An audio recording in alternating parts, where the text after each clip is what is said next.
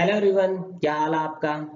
आज हम डिस्कस करने वाले हैं exemplary work of civil servant series में IPS officer Mahesh Bhagwat 1995 batch IPS officer को, उनकी सक्सेस स्टोरी कैसे उन्होंने more than thousand children rescued from the bonded slavery कैसे उन्होंने रेस्क्यू किया इतने सारे बच्चों को? अंडर ऑपरेशन स्माइल हम वो डिस्कस करेंगे। एक चीज़ मैं आपको बता दूँ 2013 में इलेवेंथ क्वेश्चन ऑलरेडी ऐसा ही कुछ आ चुका है, जहाँ पे पटाखा फैक्ट्री है तमिलनाडु में। आपको पता है बड़ी फ़ेमस है। वहाँ पे कुछ बच्चे पाए गए काम करते हुए। तो आपका क्या रिएक्शन होगा? ऐसा कुछ क्वेश्चन था, आप वो पढ़ लेना। इसीलिए मैं बता रहा हूँ, ये सीरीज़ मैं इसलिए बना रहा हूँ ताकि आपको पता चले जो प्रॉब्लम सॉल्विंग टेक्निक्स है मेथड है ऑप्शन है क्या क्या हो सकते हैं आपके पास। इसके अलावा हम क्या क्या जो एथिकल जो सिलेबस है, उससे रिलेटेड चीज़ें पढ़ेंगे। आईपीएस ऑफिसर की लीडरशिप क्वालिटी उसकी dedication toward services compassionate toward weaker section of society और साथ में देखेंगे हम डीपीएसपी जो आर्टिकल 39 है, उसमें कौन सा यूज़ हो रहा है यहाँ पे? अगर हम स्पेसिफिकली बोले उसको कैसे यूज़ किया जा रहा है? यूज़ किया जा रहा है मींस कि जो स्टेट की ऑब्लिगेशन है टुवर्ड्स द सिटीजन उसमें क्या है? अब बात करते हैं ऑपरेशन स्माइल है क्या? It is a project initiated by government of India under ministry of home affair इसके अंदर क्या करेंगे? हर साल जनवरी से जुलाई तक क्या किया जाएगा? जो मिसिंग चिल्ड्रन है या जो चाइल्ड लेबर है, जो हेजार्डस इंडस्ट्रीज़ के अंदर है, उनको रेस्क्यू किया जाएगा, उनको रिहेबिलिटेट किया जाएगा। अब इसके अंदर क्या है? जो पुलिस वाले हैं, वो ढूंढेंगे। जो under privilege section of society के जो बच्चे हैं स्पेशली जिनकी इकोनॉमिक कंडीशन अच्छी नहीं है, जो जॉब के लिए बाहर आए हैं ठीक है, उनको जॉब चाहिए। क्योंकि इकोनॉमिक कंडीशन तो अच्छी है नहीं तो कहीं ना कहीं जॉब ढूंढते हैं तो उनको क्या कर लिया जाता है एज ए बॉन्डेड लेबर रख लिया जाता है। वो इंडस्ट्री में भी हो सकते हैं होटल में भी हो सकते हैं, कहीं भी हो सकते हैं। तो यहाँ पे पुलिस का एक ही काम है, इन बच्चों को रेस्क्यू करना, इनको रिहेबिलिटेट करना। अब इसमें सबसे अच्छी चीज़ जो टेक्नोलॉजी का यूज़ किया गया, वो देखिए। To trace missing children the facial recognization app Darpan is developed by Telangana police एक ऐप ही डेवलप कर दी है, ताकि जो मिसिंग चिल्ड्रन है, उनकी फ़ोटो ली जाए और उनको चेक किया जाए भी कहाँ कहाँ है। अब ये देखिए कितना अच्छा यूज़ किया गया है टेक्नोलॉजी का। अब मैं डिस्कस करने वाला हूँ किस हालत में इन बच्चों को रेस्क्यू किया गया, कैसे रेस्क्यू किया गया, क्या उनकी कंडीशन थी? क्योंकि ये जानना ज़रूरी है, तभी शायद आपको ये चीज़ समझ में पाएगी कितनी ज़्यादा ग्रेव सिचुएशन है।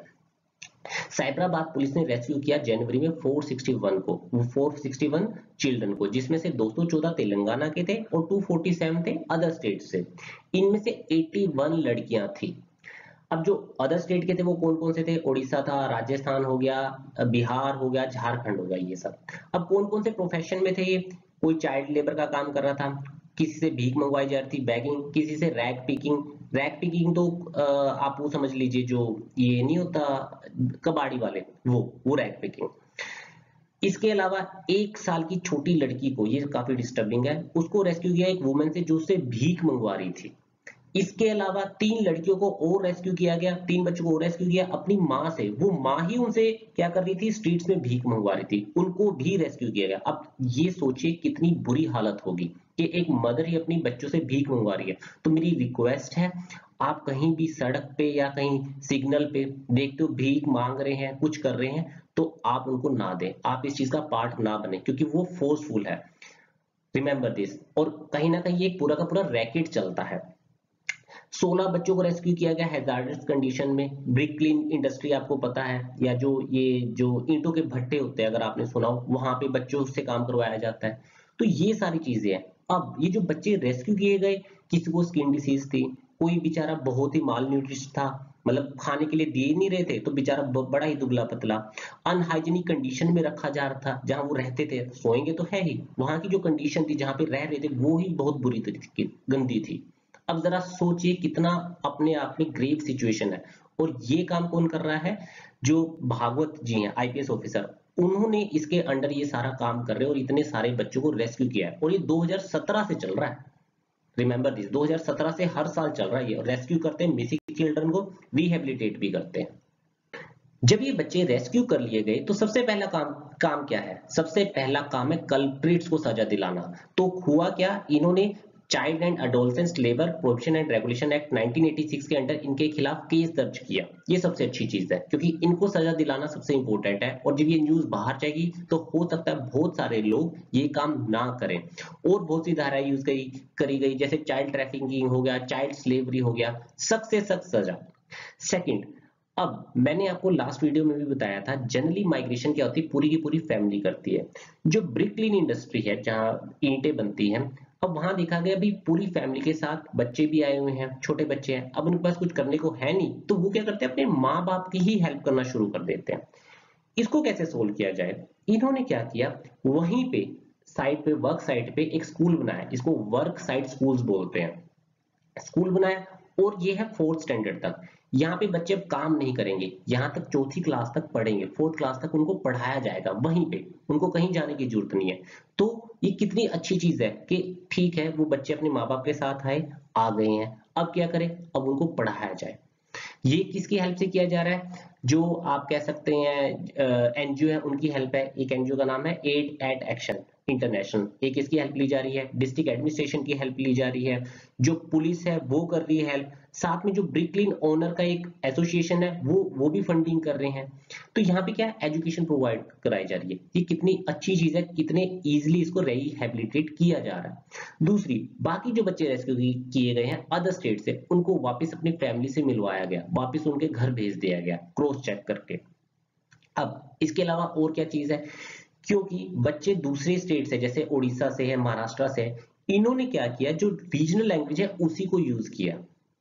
उनकी जो रीजनल लैंग्वेज है, उड़िया है, मराठी है, उसमें ही इनको पढ़ाया जा रहा है। अब ये ये भी अपने आप में बहुत इंपॉर्टेंट स्टेप है, क्योंकि उनकी लैंग्वेज डिफरेंट है। तेलंगाना में है, तेलंगाना में तेलुगु बोली जाती है तो उन्होंने फिर भी ये चीज़ कहा कि नहीं, इनको, इनकी मदर टंग में ही पढ़ाया जाए। अब मैं डिस्कस करने वाला हूँ directive principle of state policy आपको शायद ये स्पेसिफिकली तो याद नहीं होगा, मैं इसीलिए चीज़ों को कनेक्ट कर रहा हूँ। अब मैं अगर मैं ये आर्टिकल का एक दो क्लोज बताऊँगा तो आप कुछ ज़्यादा चांस से याद रहे अब मैं डायरेक्ट रीड कर रहा हूँ वो क्या है article 39 clause E and clause F पहला clause E The state shall in particular direct its policy towards securing the health and strength of worker men and women and tender age of children are not abused and that citizens are not forced by economic necessity to enter a unsuited to their age and strength second F जो है the children are given opportunity and facilities to develop in healthy manner अब जो work side school है, वो यही है. And in condition of freedom and dignity and the childhood and youth are protected against exploitation and against moral and material abandonment इनको rescue किया गया ये भी यहाँ पे अप्लीकेबल है. इस तरह इनको कनेक्ट करोगे तो ज़्यादा अच्छे से याद रहेगा और इन चीज़ों को यूज़ कर सकते हो as a justification in case studies कि भाई ये हमारी ओब्लिगेशन है। आप गवर्नमेंट बीइंग सिविल सर्वेंट आप गवर्नमेंट का पार्ट हो। तो आपकी ये ड्यूटी है डीपीएसपी में। That's all for today in case कोई डाउट है प्लीज़ आप मुझसे पूछिए कमेंट सेक्शन में और प्लीज़ मेरा चैनल लाइक भी करिए सब्सक्राइब भी करिए, इससे मुझे मोटिवेशन मिलेगी। So thank you